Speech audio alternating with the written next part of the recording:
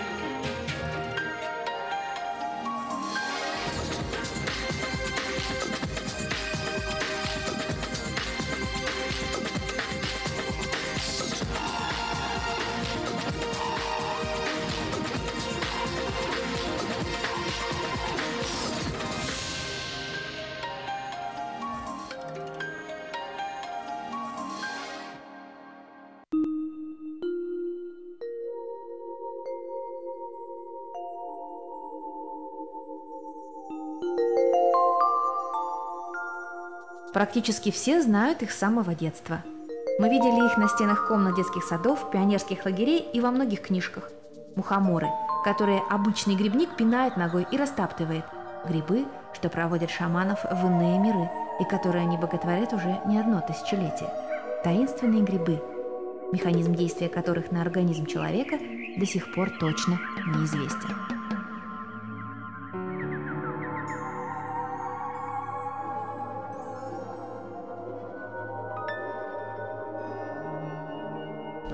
Как малыши рисуют. Посмотрим, Грибочек, и что- сверху на него вот такие штучки. Это вот Да. как э, Что это за мухомор? Посмотрим. черта, да? Так, Разные это вот мухомор красный вообще-то. Мухомор, хотя вот он не Не красного красный, цвета, да. но это относится мухомор красный.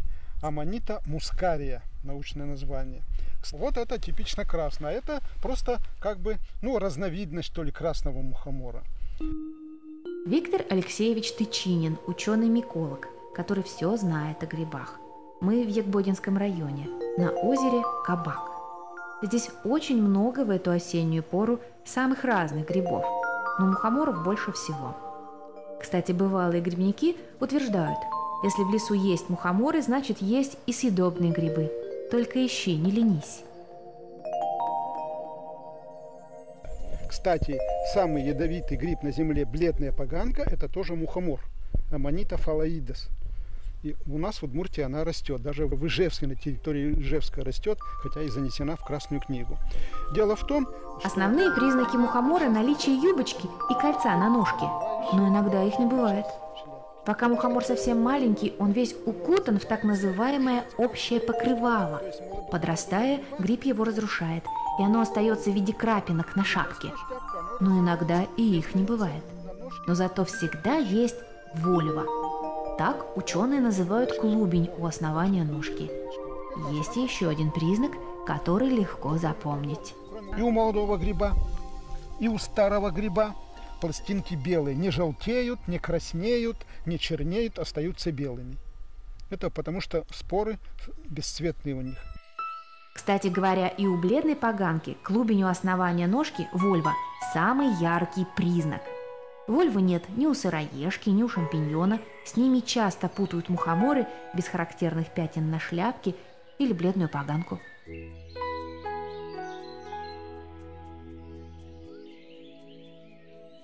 Самая главная опасность бледной поганки то, что если красным мухомором, вот вы съели красный мухомор, через 20 минут вы уже почувствуете отравление.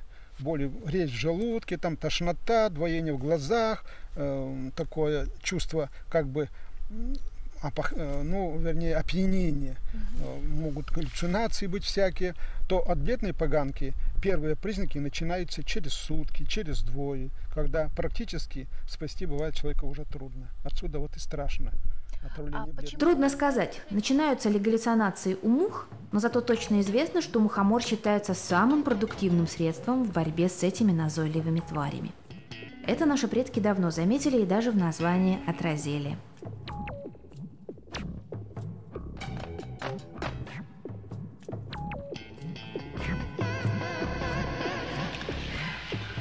Красный мухомор, э, значит, э, раз он вызывает галлюцинации, э, там есть какие-то вот такие вещества, которые действуют на нервную систему, причем на кору головного мозга, на всякие центры, различные центры. И поэтому красный мухомор, официально вещества, которые там есть, используются в медицине вот, при лечении там, ну, связанных болезней, связанных с нервной системой. Это во-первых. А в народной медицине красный мухомор широко используется при, э, значит, делают спиртовую настойку при ревматизме. В приступах радикулита вот натирают. Считается одной из самых лучших народных средств. Это проверено, причем наши вот многие преподаватели э, используют это широко.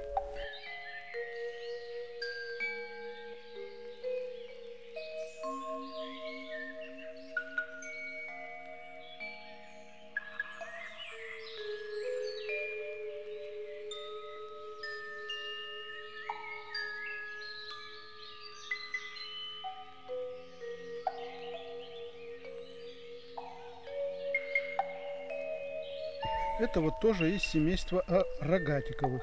Кстати, также они относятся к офилофоровым, родственник лисичек, ежевиков. Так, сейчас я его вот вырву весь. Видите, к рогатикам относятся грибы, у которых плодовые тела вертикальные, без шляпки и ножки, а просто ножка разветвленная на кустики. Вот, видите, вот основание толстое и многие веточек. Есть съедобные виды, как вот рогатик язычковый был, и э, большой род ромарии называются. Ромария золотистая. Вот это вот какая-то ромария.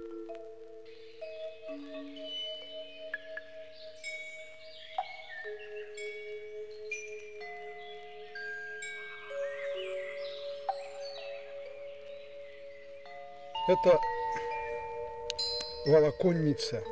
Э, род волоконница из паутинник, из семейства паутинниковых, родственник паутинника, только другой род. Это вот все, они все ядовитые волоконницы. В частности, это волоконница земляная, белого цвета.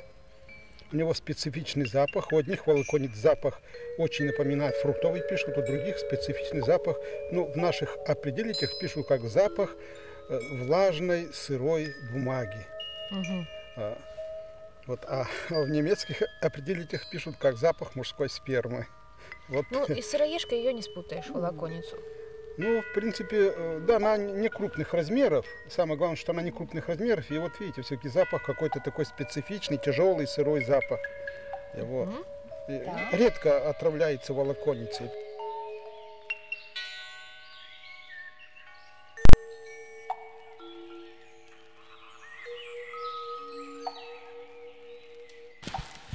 А вот про эти поганки вы тоже все знаете? Так, да, так. Это гриб называется цистодерма. Цистодерма.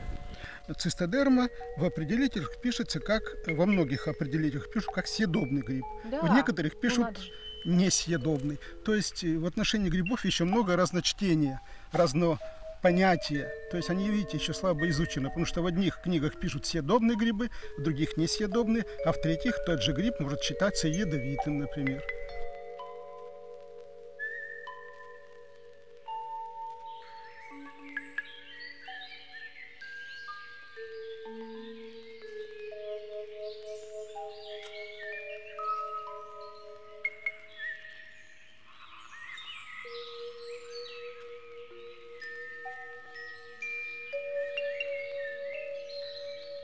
Ой, все классно. Тут даже и голова обычно. Лучше всегда вот шляпку поперек разрезать всегда. Вот так Когда вот, да? чистите, да, сразу видно, хороший, нехороший, черви. Вот, отличный, видите, вообще отличный. отличный. Такой большой и да. совершенно не червивый, да?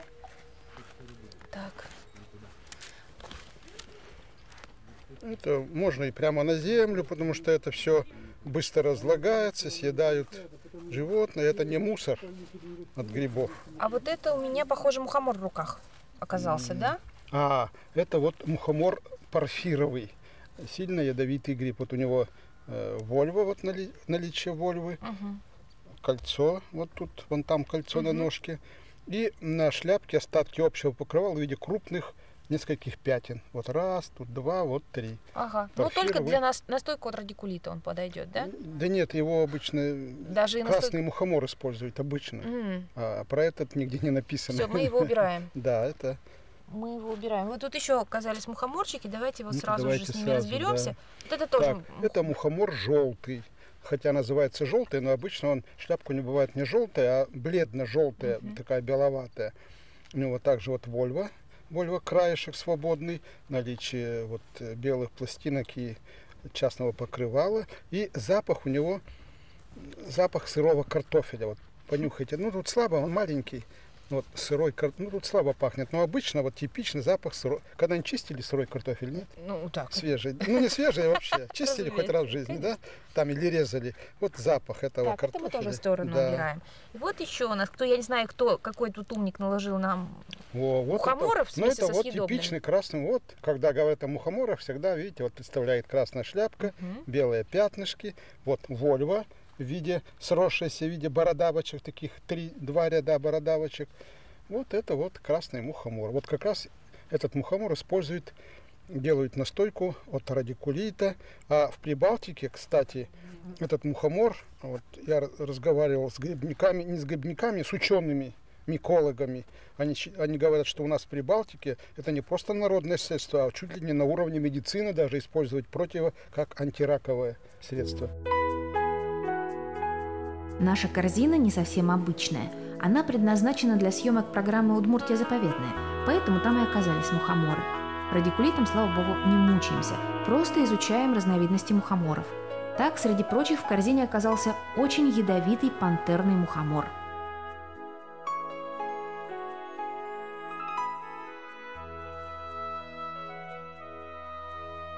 Порфирный. Вот, да, вот порфировый. Это да, пантер. У порфирова пятна бывают немногочисленные, крупные, таких э, неправильных размеров. У пантерного мелкие, многочисленные. Очень часто они даже кругами располагаются. Вот я их держала в руках, не нужно помыть руки, чтобы... Да нет, уж не настолько они ядовиты, что если вы уж все равно вы не будете их облизывать сейчас пальцем. Нет, не стану. Даже не вковаривайте.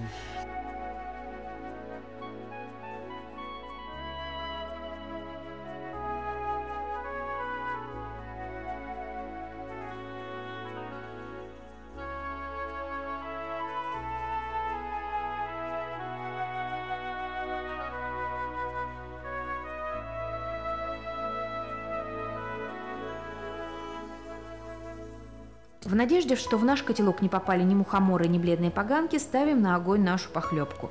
Залогом тому присутствие в нашей съемочной группе кандидата биологических наук профессора Виктора Алексеевича Тычинина. Так надежно и увлекательно бродить по лесу с учеными, что и предлагает вам каждую неделю программа «Удмуртия заповедная» на телеканале «Моя Удмуртия».